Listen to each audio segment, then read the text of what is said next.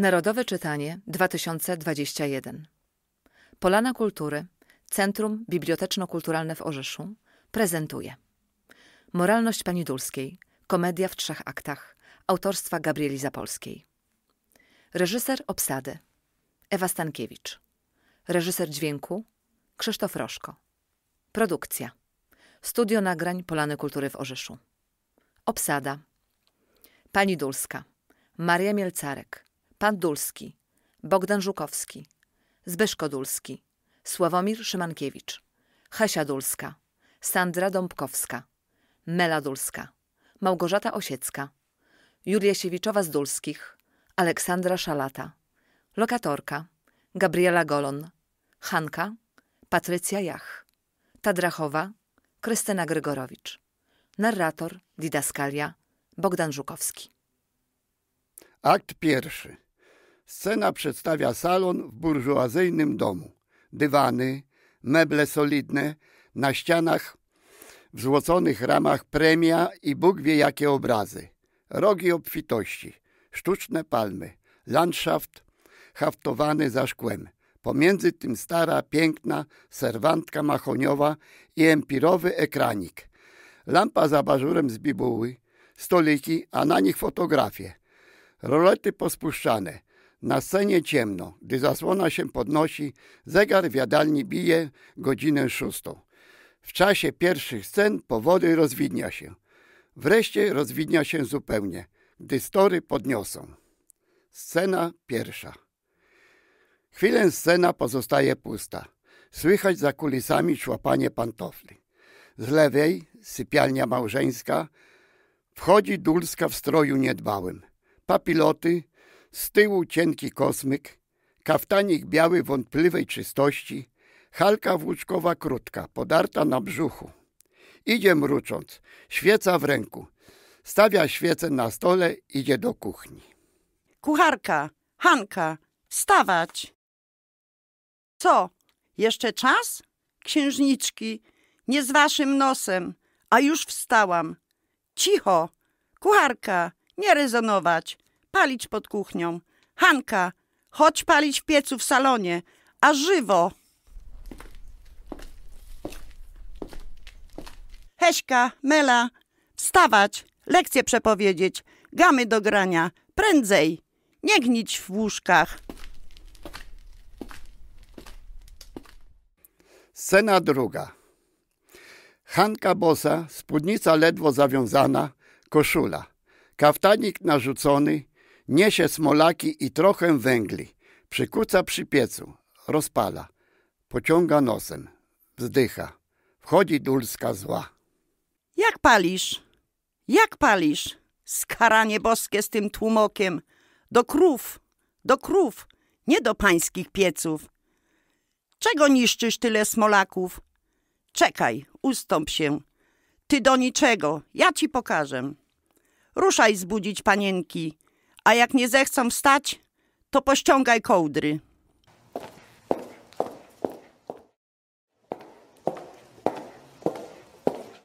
Cóż, panny wstają?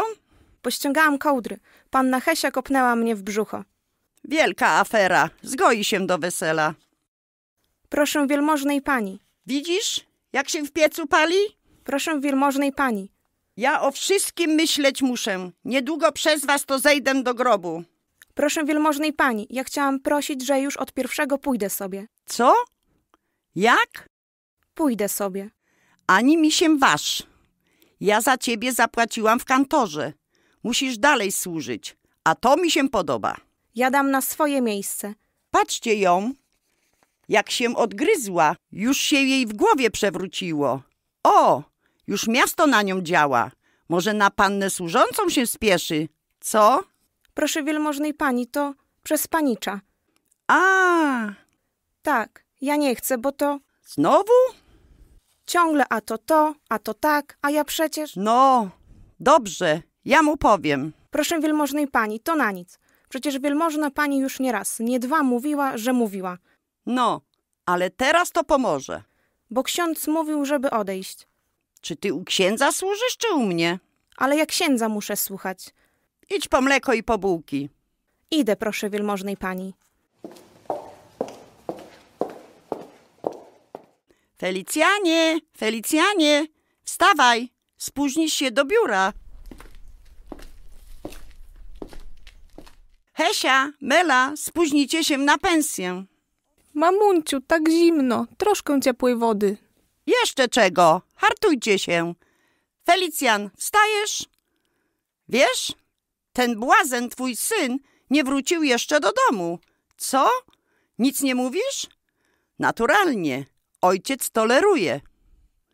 Niedaleko padło jabłko od jabłoni, ale jak będą dłużki, małe, nie zapłacę.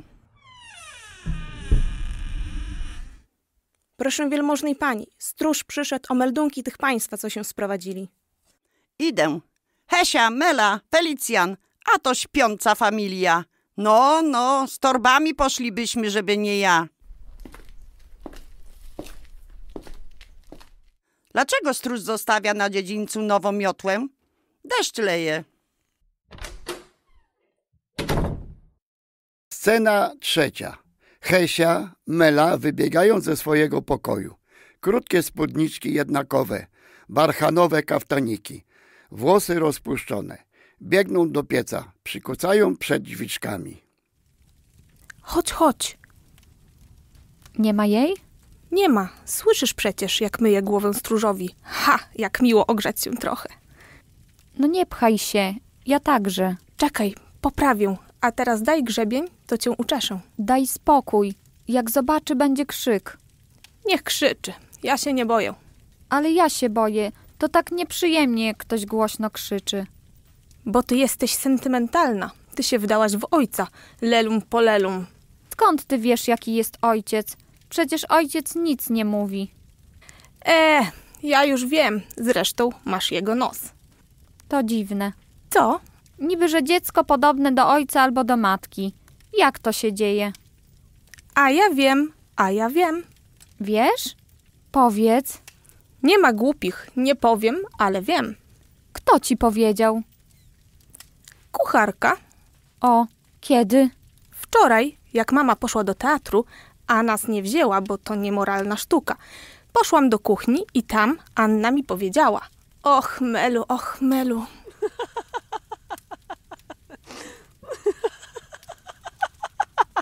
Hesia, ja myślę, że to grzech. Co? Mówić z kucharką o takich rzeczach. Kiedy to prawda? Tak jest naprawdę. Gdyby to mama wiedziała, No to co? Krzyczałaby. Ona wiecznie krzyczy. a mnie nie powiesz? Nie, nie chcę cię brać na swe sumienie. Nie gorsz malutkich.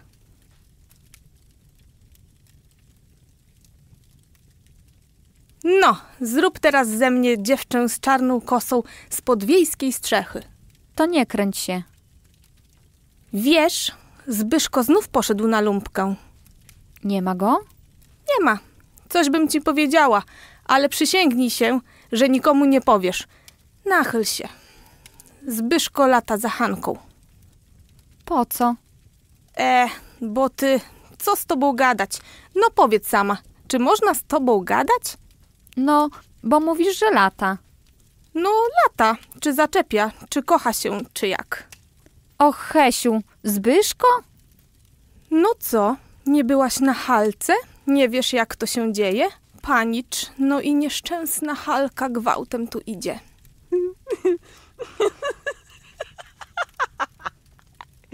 Ale to na scenie.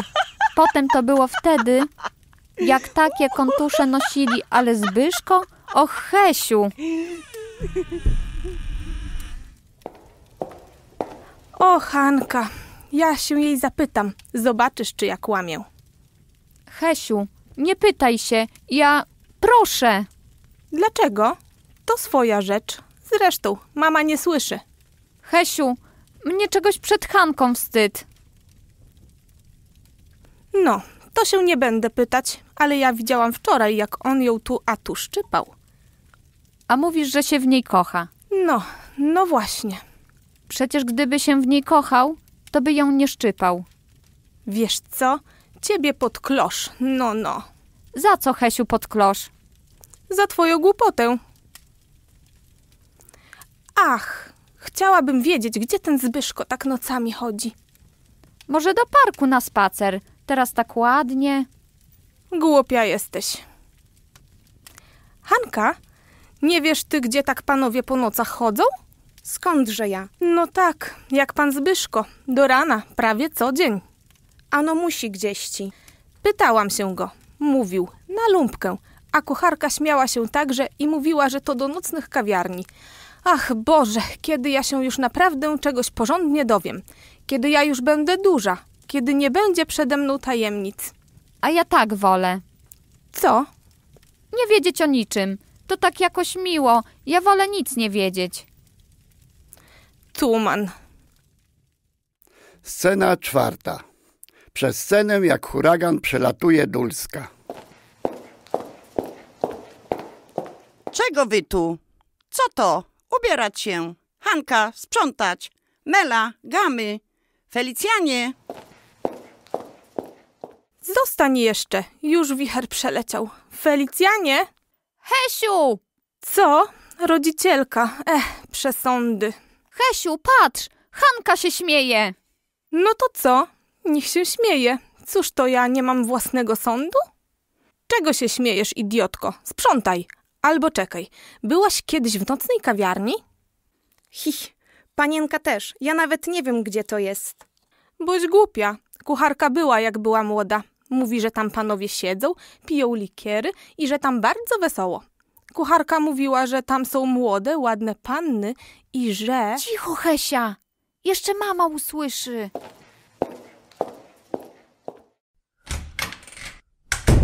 Idź, idź. To nie dlatego, że mama, tylko że ty nie chcesz, żeby ci się w głowie rozświetliło. Mówiłam ci, wolę nie wiedzieć. Przed chwilą się sama pytałaś. O co? O te dzieci. To co innego. Dlaczego? Bo tamto o dzieciach to ciekawe, a to brzydkie. Wcale nie. To jeszcze ciekawsze. Może być, ale mnie to zaraz potem smutno. O, idzie lump.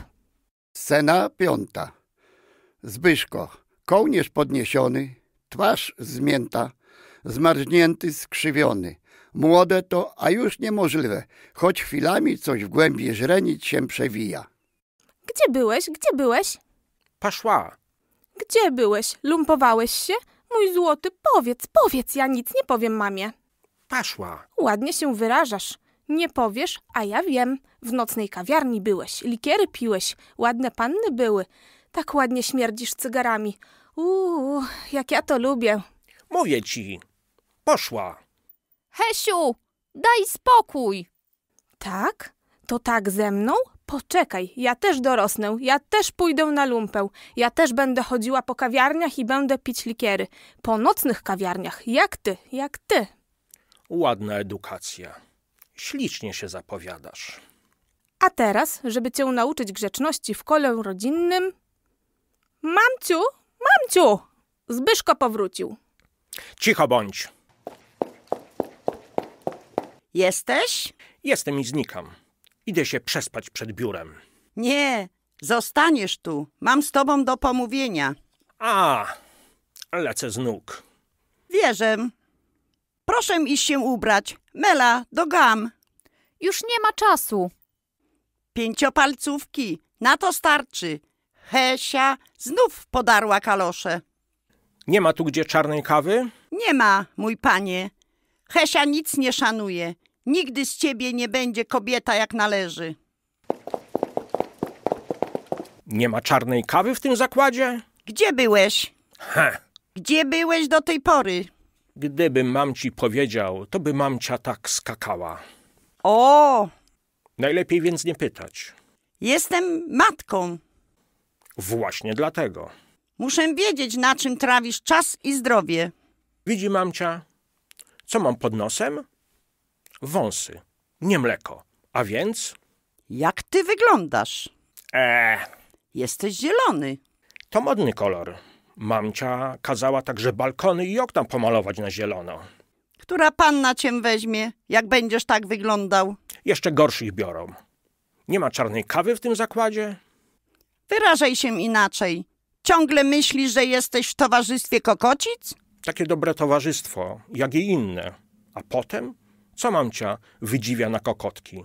Niby to i u nas nie ma kokot w kamienicy? Sama mamcia wynajmowała tej z pierwszego piętra. Ale się jej nie kłaniam. Ale pieniążki za czynsz mamcia bierze od niej? Że aż ha? Przepraszam, to ja takich pieniędzy dla siebie nie biorę. A co mamcia z nimi robi? Podatki nimi płacę. Ha, no, a ja idę spać. Czy ty się przestaniesz lampartować? Że mi, Ja długów płacić nie będę. e, to już o tym później. Zbyszko, Zbyszko, na tą cię mlekiem swym karmiła, żebyś nasze uczciwe i szanowane nazwisko po kawiarniach i spelunkach włóczył? Było mnie chować mączką Nestla. Podobno doskonała. No, nie martwiuchny się, pani Dulska. A co mamcia chce? Żebym ja tu z wami w domu robił? Nikt tu nie bywa. Żyjemy jak ostatnie sopki. Ciężkie czasy, nie ma na przyjęcia. E, człowiek jest zwierzęciem towarzyskim. Musi od czasu do czasu myśli wymienić. O, widzi mamcia? Myśl. To wielkie słowo. Choć ono się stąd gna, to przecież tu i ówdzie się jeszcze kręci. Ja tam nie mam czasu myśleć. Właśnie, właśnie. Więc też ja myk z domu, bo w domu właściwie cmentarz. A czego? Myśli. Swobodnej, szerokiej myśli. A więc do kawiarni, do... Tak, tak. Do co mamcia może wiedzieć, którymi to drogami chadza ludzka myśl? Nawet takiego jak ja, kołtuna. Jesteś głupi. Ty i twój ojciec. To jedna dusza. On co dzień w cukierni, a ty Bóg wie gdzie. Scena szósta. Dulski, zasuszony urzędnik. Wchodzi ubrany bardzo porządnie do wyjścia. Czyści kapelusz. No wreszcie. Dzień dobry, ojcu. Dziś fasujesz. A uważaj, żebyś nie zgubił. Na co czekasz? A, cygaro. Zbyszko, daj cygaro ojcu z nadpieca. A czy ty wiesz, o której twój synek do domu wrócił?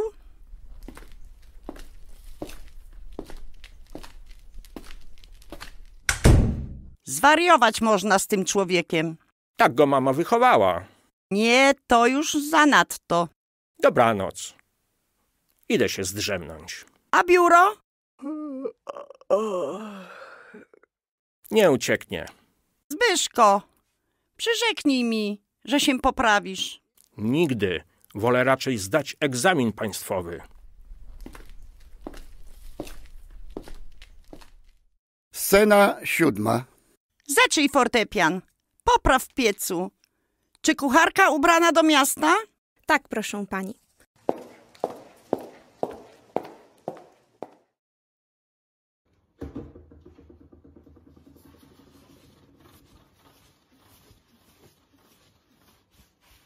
Hanka?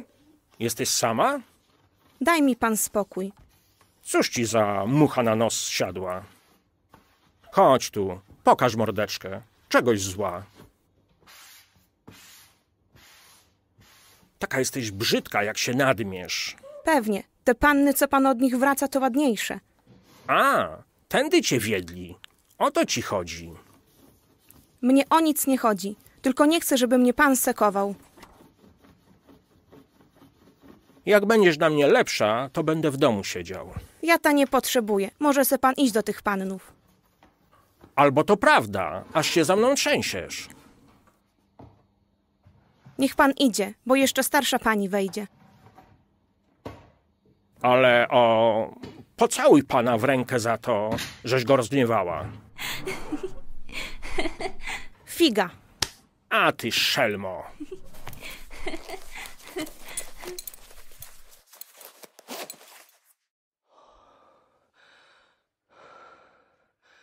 Zbyszko! Czego?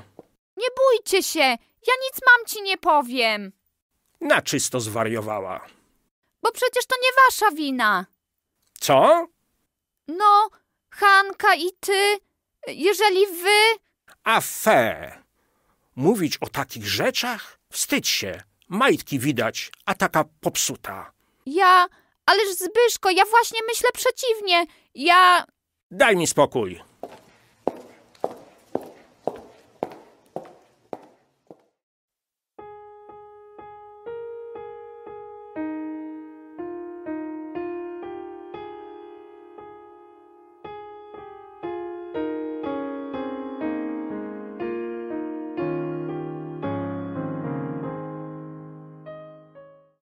Scena ósma. Ubieraj się, Ofelio. Żywo, już chłopcy idą do szkoły. Hesiu, ty nie będziesz tak strzelała oczami na tego wysokiego studenta. Będę robiła, co mi się podoba. Mnie za ciebie wstyd. To się wstydź. A spróbuj co powiedzieć przed mamą, to ja zaraz powiem, że ty zamiast spać w nocy wzdychasz. Mama się będzie za to więcej gniewała, jak za studenta. To wątpię. Ale ja nie. Mama mnie zna i wie, że ja znam granice i że ja się nie zapomnę. Jak ty to rozumiesz? Ja już wiem, co mówię. O lelio z pól rodzinnych. Hanka, chodź odprowadzić panienki. Idę. Macie parasol? Iść prosto, nie oglądać się, pamiętać. Skromność, skarb dziewczęcia. Nie garb się. Bierz, ciużmo pokręcona. Do widzenia, mamci. Scena dziewiąta.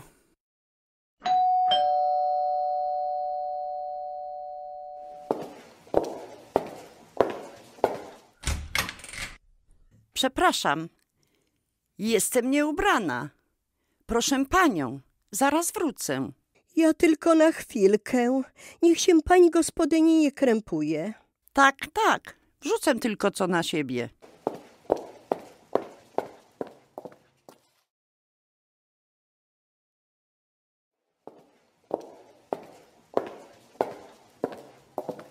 Proszę panią na kanapę. Dziękuję. Tylko parę słów. Dostałam list pani. Pani już zupełnie wyszła ze szpitala? Tak, pozawczoraj mnie mama przywiozła. Widzę, że pani zdrowa. O, jeszcze daleko. Och, w domeczku swoim wróci pani szybko do sił. Dla kobiety nie ma jak dom. Ja zawsze to powtarzam. Tak, skoro ktoś ma ten dom. Wszakże pani ma męża, stanowisko. Tak, ale proszę pani, czy to rzeczywiście konieczne, ażebym na przyszłego pierwszego się wyprowadziła? Proszę pani, ja mieszkania pani koniecznie potrzebuję dla krewnych. Wolałabym pozostać. Trudno będzie znaleźć w zimie. Ach, to niemożliwe. Powtarzam pani, niemożliwe. Przecież przy dobrej woli wiem, że pani kazała kartę na mieszkanie wywiesić, a więc krewni pani się nie sprowadzają. Ach, niech pani nie zmusza mnie do sprawienia jej przykrości. Czy pani ma mi coś do zarzucenia? A, proszę pani, to już przechodzi granicę. A skandal, który pani przez swe otrucie wywołała? A więc o to chodzi. A o cóż innego? Płacili mi państwo czynsz, dzieci i psów nie mieli. Ostatecznie tyle, co o te ranne trzepanie dywanów się rozchodziło. I mogliby państwo mieszkać nadal, aż tu. Skoro o tym pomyślę, pąsy na mnie biją. Pogotowie ratunkowe przed moją kamienicą. Pogotowie, jak przed szynkiem, gdzie się pobiją. Ależ proszę pani, wypadek może się zdarzyć wszędzie. W porządnej kamienicy wypadki się nie trafiają. Czy pani widziała kiedy przed hrabską kamienicą pogotowie? Nie. A potem ta publika w gazetach. Trzy razy wymieniano nazwisko Dulskiej. Nazwisko moich córek przy takim skandalu. Ależ, proszę pani, chyba pani zna przyczyny i... Wielka afera, że pani mąż, no i ta dziewczyna, to swoja rzecz. Ależ to była moja sługa, to szkaractwo. Ja tego znieść nie mogłam, skoro się przekonałam. Zażyła pani zapałek. Taka trywialna trucizna. Ludzie się śmieli. I jeszcze jak się to skończyło, cała komedia. Gdyby pani była umarła, Sama żałuję. nie mówię dlatego tylko, że to niby śmierć. To zawsze coś niby. Ale tak, no, powiadam pani, śmieli się. Kiedyś jadę tramwajem, przejeżdżamy koło mej kamienicy, bo przystanek trochę dalej, a jacyś dwaj panowie pokazują na mój dom i mówią, patrz, to ten dom co się ta zazdrosna żona truła. I zaczęli się śmiać. Myślałam, że tam na miejscu zostanę w tym tramwaju. Ja panią bardzo przepraszam za te nieprzyjemności. E, moja pani, publika została publiką. Ja bardzo to przechorowałam. Zresztą ja nie wiedziałam, co robię. Ja byłam wtedy jak szalona. Pewnie, moja pani. Każdy samobójca musi być szalony i stracić poczucie moralności i wiary w obecność Boga. To, to jest tchórzostwo. Tak jest, tchórzostwo. A potem zagłada własnej duszy. Dobrze, że samobójców chowają osobno. Niech się nie pchają między porządnych ludzi. Zabijać się. I dla kogo? Dla mężczyzny? A żaden mężczyzna, moja pani, nie jest wart, aby przez niego iść na potępienie wieczne. Proszę pani, to nie chodziło o mężczyznę, ale o męża. E, Nie mogłam ścierpieć tego pod moim dachem. lepiej pod swoim niż pod cudzym. Mniejsza publika, nikt nie wie. Ale ja wiem, Moja pani, na to mamy cztery ściany i sufit, aby brudy swoje prać w domu i aby nikt o nich nie wiedział. Rozwłóczyć je po świecie to ani moralne, ani uczciwe. Ja zawsze tak żyłam, ażeby nikt nie mógł powiedzieć, iż byłam powodem skandalu. Kobieta powinna przejść przez życie cicho i spokojnie. Ta już to jest tak i żadne nic nie pomoże. gdyby jednak pan Dulski zapomniał się ze sługą, Felicjan? To niemożliwe. Pani go nie zna. A potem? To już pani rzecz. Ja muszę strzec siebie i swoich od publiki. Pani może znów taką bezbożność popełnić, bo to podobno taki szał to wraca, więc rozumiem, wyprowadzę się. Chciałam pani jednak powiedzieć, że kazać mi teraz szukać mieszkania to ani dobre, ani uczciwe. Jestem taka osłabiona. Uczciwości mnie pani nie nauczy. Ja wiem, co uczciwość. Pochodzę z zacnej, zasiedziałej rodziny i ja publiki nie wywołuję. Nie wątpię, jednak może się pani nie obawiać. Drugi raz truć się nie będę. Na to trzeba wiele odwagi, pomimo tego, że pani to nazywa tchórzostwem. A potem trzeba wiele cierpieć. No to już nie mam sił i już bym tak nie potrafiła cierpieć raz jeszcze. Zresztą rozstaję się z mężem, więc to najlepsza gwarancja, że już zazdrosna nie będę. Rozstaje się pani z mężem? Bardzo źle pani robi. To nowa publika i nikt pani racji nie przyzna. Nawet z tej przyczyny nie mogłabym pani dłużej wynajmować mieszkania w mej kamienicy. Kobiety samotne to nie tego. To, no, pani rozumie. Tak, rozumiem. Jednak y, ta pani z pierwszego piętra, która po nocach wraca, To jest osoba żyjąca z własnych funduszów i zachowująca się nadzwyczaj skromnie. Ta mi jeszcze pogotowia przed dom nie sprowadziła. tylko gumy i automobile. Stają zawsze kilka kamienic dalej, a potem zdaje się, iż ja nie mam obowiązku zdawać sprawy z mego postępowania przed panią. Zapewne zawiodłoby nas to za daleko. Żegnam panią. A proszę tych, co będą oglądać mieszkanie, nie zrażać. Powiem, że jest wilgoć, bo rzeczywiście jest wilgoć. Na to jest sąd, łaskawa pani. Tak mi każe moje sumienie. Żegnam panią. Maniu, słyszysz? Będziesz świadkiem. Pani mówi, że... Żegnam panią. Scena dziesiąta. A to, a to, takie coś, takie. Niech się ciocia uspokoi. Jak tak dalej pójdzie, to będę musiała w lecie jechać do Karlsbadu i tam sztrudel pić. Ja z ciocią pojadę. Obejdzie się. O cóż poszło? Zdaje mi się, że to lokatorka z parteru, ta co się truła. Tak, tak, ta sama. Wyszła ze szpitala. Skandal. Przecież po czymś podobnym trzymać ją w kamienicy nie mogę. Sama była świadkiem. Jak ją wynosili, to była prawie naga. Horrendum. Wymówiłam jej mieszkanie. Tak? A to się dobrze składa. Nam właśnie podwyższyli. My chętnie to mieszkanie weźmiemy. Obejdzie się. Przecież mogłaby to ciocia zrobić dla nas jako dla krewnych. Za ciężkie czasy na zbytki. Rozumiem. Ciocia przypuszcza, że nie będziemy płacili. Ja tam nic nie przypuszczam.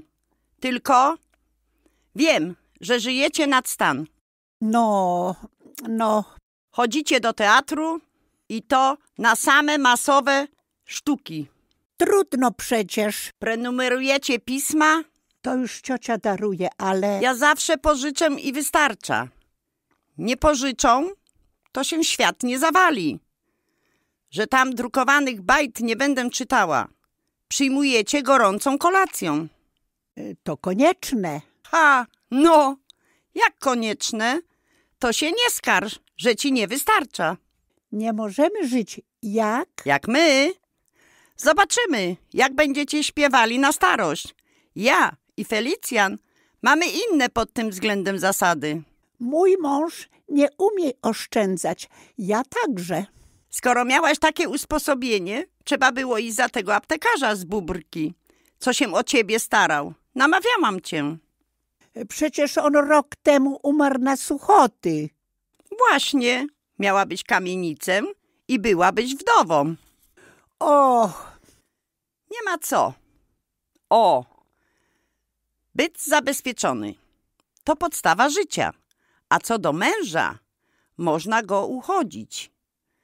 Pensję zabierać, gdy zaferuje. Co dzień dwie szóstki na kawę do łapy, a cygara samej kupować i suszyć na piecu. Inaczej taki pan może cię zrujnować. Scena jedenasta. Taki terkot, że spać nie można. Tym lepiej, pójdziesz może do biura. E, jak się masz stara? jak się masz po krako? Bardzo mi zielony? Cóż to, oświadczasz się dzisiaj? Także tylko ten stary, no wiesz, radca, będzie znów na mnie zgniłym okiem patrzył. A tam fury kawałków. Fury. Zalegaj, zalegaj. To nie ja zalegam, ale strony. Darujesz, moja droga, ale będę ścierać kurze, więc muszę oszczędzać szlafroka. Ależ proszę, niech się ciocia nie krępuje. To mama naprawdę wyrzuca tę, co się otruła z kamienicy? A tobie co do tego? Tak, słyszałem piąte przez dziesiąte. Byłem zbudowany mamusinym serduszkiem. Potem ona jest mi bardzo sympatyczna. Ta kobieta. Zupełnie wierzę. Szkandalistka. Zrobiła to z miłości dla męża. To w guście mamy. Miłość małżeńska. Aha, prawda była. Za tym mężem. Ja tam w tę miłość nie wierzę. Szumi jedwabiami pod spodem. Cóż to dowodzi? To, że nie jest uczciwą kobietą, dla męża, mój panie, kobieta się nie potrzebuje pod spodem stroić, a takie, co szumią, to... Siedźże spokojnie, bo i ty szumisz. A zresztą, co do tej z parteru, to ja ręczę, że uczciwa. A ty skąd wiesz? Bom się do niej brał i dostałem po nosie. Mógłbyś też zostawić choćby lokatorki w spokoju. Usuń się. Jak długo będziesz sterczał tu pod piecem? Gdy patrzę na ciebie, to chwilami wierzyć mi się nie chce, że jesteś moim dzieckiem. No, jeśli mama ma wątpliwości, Powiadam ci, nie miej nigdy dzieci.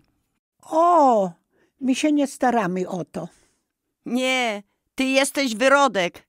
Ty nie jesteś moim synem. jestem, mamciu. Jestem niestety i to właśnie cała moja tragedia.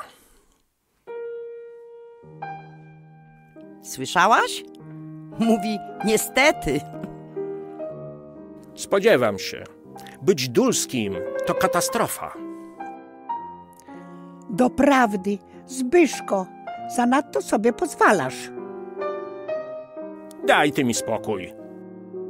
Żadnej moralności, żadnych zasad. Żadnego płaszczyka teoretycznego, jak mamcia. To się na tym skończy, że jeszcze do socjalistów przystanie. Za głupi jestem na to. Na socjalistę nie trzeba zdawać egzaminu. Właśnie, że trzeba. I to najtrudniejszy egzamin. Przed kim? Przed swym sumieniem i własną duszą, słodki aniele. Na socjalistę nie trzeba mieć przede wszystkim Boga w sercu. Jest! Dawno nie było mowy o Bogu w tym domu. Scena dwunasta. Proszę wielmożnej pani, parasol. Pozostaw w przedpokoju, a potem idź zamieć przedpokój. Czy kucharka wróciła? Już. Ja tylko na chwileczkę. Rzeczywiście, ciocia ma rację. Mógłbyś się trochę ustatkować. Wyglądasz jak śmierć angielska. Ty także ładnie wyglądasz. Ja? Ja wczoraj z domu nie wychodziłam. To znaczy, że ja się lumpowałem za domem, a ty w domu. Jesteś niemożliwy. Jak kiedy? Cóż tak patrzysz za Hanką? Bo mi się podoba. Sługa? A cóż to, nie kobieta? Zaręczam ci, że nawet bardzo. Wiesz już coś o tym? Co ci do tego? Myślałam, że masz gust wykwintniejszy. Głupia jesteś z twoją kołtuńską estetyką. A zresztą, ja jestem jak pianista. Gdy zobaczy fortepian, musi zaraz pasaż. Tak, ale fortepianu nie. Moja droga, każda kobieta to fortepian, tylko trzeba umieć grać. Ach, jaki ja śpiący. Czego ty po tych knajpach się włóczysz? A gdzież się będę włóczył? Gdzieś muszę. Ja na twoim miejscu starałabym się o jakąś znajomość, solidną. No, tyle mężatek, co Boże. Dziękuję. Mam dosyć kołtunerii w domu i w samym sobie. Dlaczego jesteś kołtunem? Bom się urodził po kołtuńsku, aniele, bo w łonie matki już nim byłem, bo żebym skórę zdarł z siebie, mam tam pod spodem, w duszy, całą warstwę kołtunerii, której nic wyplenić nie zdoła. Coś taki nowy, taki inny, walczy z tym podstawowym, szarpie się, ciska. Ale ja wiem, że to do czasu, że ten kołtun rodzinny weźmie mnie za łeb, że przyjdzie czas, gdy ja będę Felicjanem, będę odbierał czynsze, będę no dulskim, pradulskim, oberdulskim, że będę rodził dulskich, całe legiony dulskich, będę miał srebrne wesele i porządny nagrobek z dala od samobójców. I nie będę zielony, ale nalany tłuszczem, nalany teoriami i będę mówił dużo o Bogu.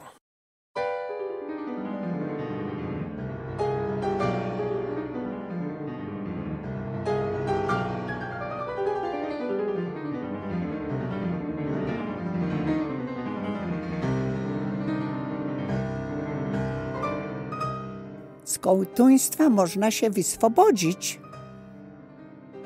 Nieprawda. Tobie się zdaje, że jesteś wyzwolona, bo masz trochę politury po wierzchu, ale ty jesteś tylko zrobiona na machoń.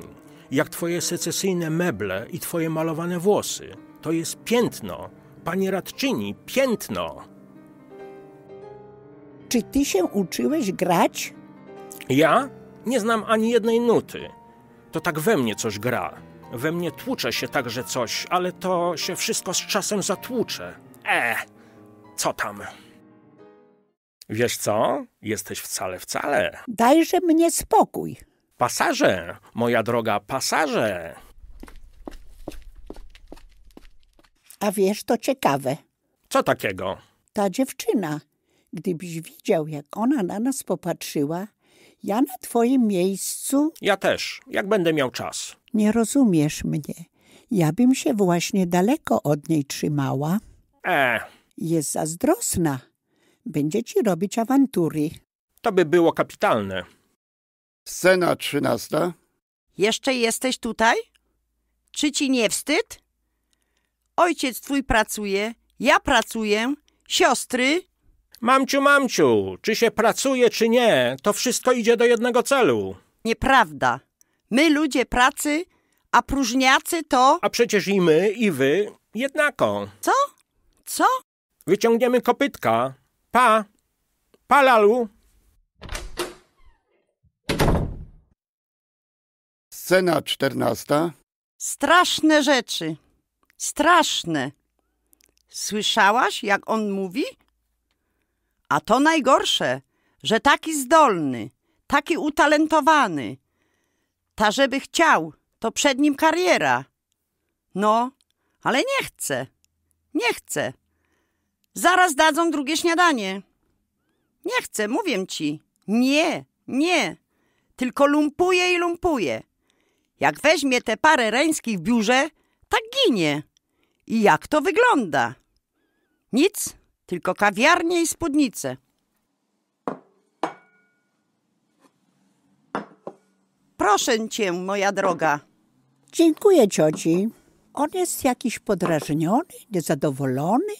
Czy on sam wie, czego chce? Powinien Bogu dziękować. Prosty, zdrów, za twoje. Hanka, idź posprzątaj u panicza. Kontentna ciotka z Hanki? Tak sobie. Niech ją ciocia odprawi. A to czemu? Ja coś dostrzegłam. Kradnie? Nie, gorzej. No, no. Zdaje mi się, że Zbyszko się do niej bierze. E, to. Wiem, co mówię. Niech ciocia ją odprawi, póki czas. Moja kochana, pewnie ci się zdawało. A potem? Wobec tego, co się dzieje, że niby. No, rozumiesz. To piwo, co szumi, A, słowem, że. Rozumiesz? lepiej w domu. Ja nie mówię, ale. A wie ciocia? Może ciocia ma rację. Trzeba jednak przyznać, że mężczyźni mają szczególny gust. A, niech tam. Byle się nie włóczył i nie tracił zdrowia. Trzeba być matką, aby zrozumieć, jaki to ból patrzeć, jak syn marnieje. Dziękuję, ale żeby ona potem... Ona? Także będzie kontenta. To takie wszystko bez czci i wiary. Pokażę ci tok, co sobie kazałam przerobić. Dobrze? Wcale, wcale. Muszę się oszczędzać. Przerabiam stare łachy. No, na cioci wszystko się dobrze wyda. Czy ciocia w tym roku podwyższa? Spodziewam się. Muszę. Wszyscy podwyższają. Pokażę ci szpejscetel. No, no. Suteryny całe w rumel o dwadzieścia. Do sieni wstawię magle. Ciasno. Zęby sobie powybijają. To mi wszystko jedno. Ja tamtędy nigdy nie chodzę. Oba partery po pięć. Pierwsze piętro, kokocica o dziesięć. Kokocica? To za mało. Ja bym podwyższyła co najmniej o dwadzieścia. Tak myślisz? Naturalnie. Ma pieniądze. Lekko jej przychodzą. Niech płaci. Niech płaci. Niech płaci. A więc kokotka o dwadzieścia, radca o dziesięć. Drugie piętro